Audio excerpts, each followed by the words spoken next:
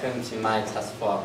And I mean, task four is all about task three, which is presenting my ideas that come to my poster.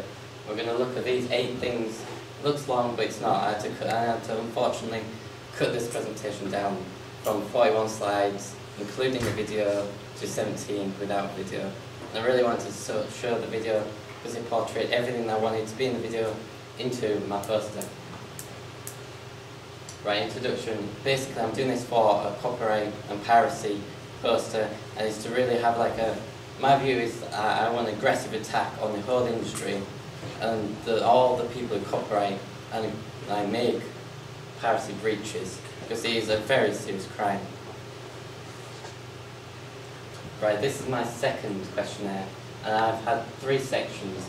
This is a disclaimer section, basically how old they are all the information that I really need.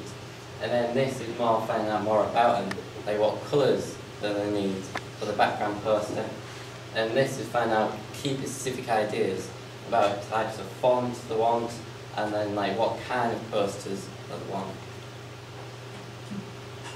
So This is results from my questionnaire. I've just picked five results because they're the main ones, and I think they had the most impact on me. And this is because this shows that they want more images than anything else out of those five. This shows that they prefer simple fonts more than complex or handwriting. This means that they want to look at it, walk through, and to easily read it in like a second, instead of like going, oh that's handwriting. So, and then this shows that they want a white or black background. So this shows that it wants to be more clear, not like bright and too kind of childish as it were, as I wanted to portray a serious message. This, I think this was a quite success for me because I found out that everyone wanted a poster with images without, and they didn't want lots of writing because I was able to switch them off and it'd be boring a lot.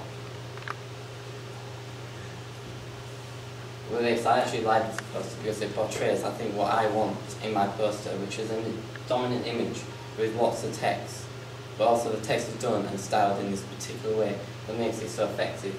And most people, as you can see, like the word of effect and the use of images. Well, I want the message of my poster to be like, as I said before, an aggressive attack, like, and to really clearly state that copyright breaching is wrong piracy is not only wrong, but it's inhumane. And uh, this is my favourite slide because it shows what I, I want the mood across.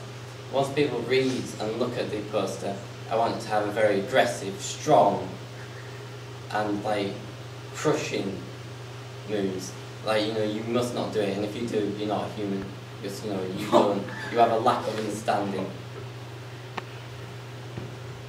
The colour scheme that I'm going for is, for the background, I'm, I'm thinking of doing a simple, ultra clean, white or black, and also having some company like colours of it, like red or white and yellow to even like make it be more brighter.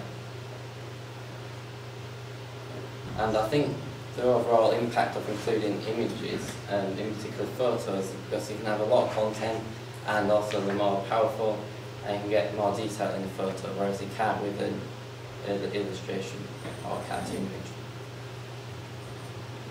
And I want the style and the particular layout to be ultra clean, very simple, and you know it's meant to be easy to follow and it's not far too busy and complex.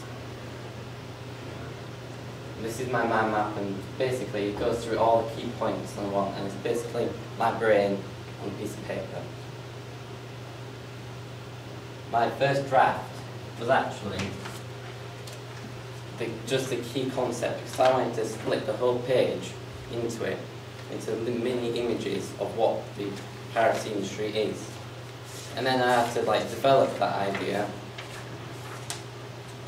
and I put like words in it, so then quite heavy, detailed and clear words.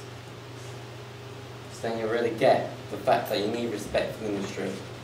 And then after that I decided to play around with fonts look at it and to like, because through my research I've discovered that people do not like far too complex fonts, then it needs to be clear and easy to read. And then I started to mess around and really like develop my slogan at the bottom and at the top as well. And I really want to have a really strong and clear message and slogan. To conclude, 3 was really my foundations and it really helped me to develop my poster ideas. And I think the key thing I wanted to get out of it is this basic concept of what my poster will be like.